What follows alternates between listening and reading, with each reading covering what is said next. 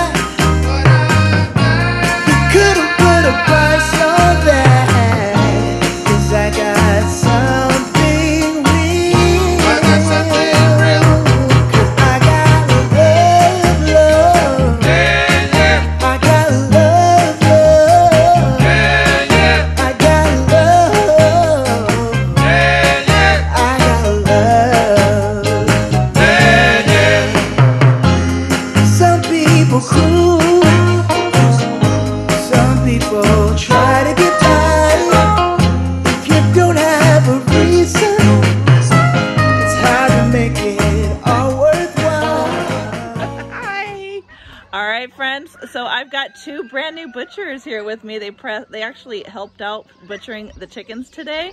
And uh, how did you guys like it?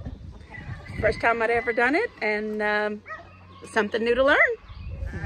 seeing it's a lot different than actually doing it. Can say Right. it for sure because, like, obviously in a class full of like thirty something kids, not everyone's gonna get the chance to slaughter the chicken itself. So I had to just kind of watch. But I mean, like, only hard part was just actually getting the guts out. Yeah. Struggled with that part, but I told her it's just about feeling. You really have to feel the chicken and know the insides and what you're pulling out because you can't see anything inside there while your hand's in there. You get real up close and personal with that chicken. So Aaliyah has actually done this in class and she is going to be doing a report on it. So that's why she had the opportunity to come over today and do this because she's writing up a report to submit to her class. So that's pretty fun. I mean, not 16, right? 16? 15. Not much 15 year olds get to do that in school. And that's one thing that I really, really love about Kentucky. And probably other states do it too. We don't do that in California. But this was a huge learning experience for her and then for me to know what they do over here in too. Kentucky. So if you have young kids, definitely look into it. Schools are awesome around here and they do offer all kinds of classes like that. So thank you guys for coming and helping out today. Thank you for having us. Until and next thank you for uh, giving me the easy opportunity. Of course, of course.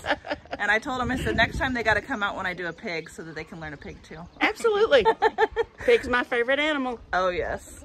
Until next time, friends, don't forget to like, subscribe, share with your friends and family. As always, I hope all is well and have a blessed day.